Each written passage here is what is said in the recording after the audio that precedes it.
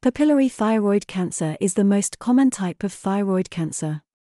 It accounts 85% of cases of thyroid cancer.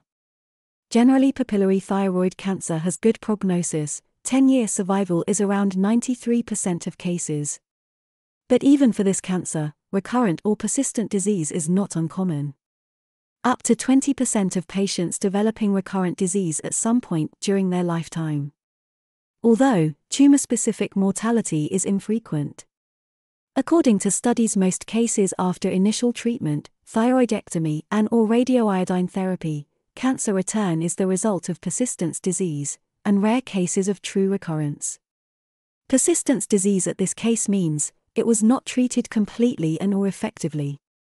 And there was residual tissue after surgery, or radioiodine ablation was not effective enough. We can define persistent disease if positive TG level, an abnormal ultrasound, or persisting elevated TG antibodies. True recurrent disease can be defined when thyroglobulin was undetectable.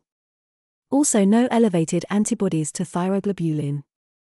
And on ultrasound, no abnormal tissue in thyroid bed, no abnormal or suspicious lymph nodes in the central or lateral neck, and no any growth of mass or lymph nodes.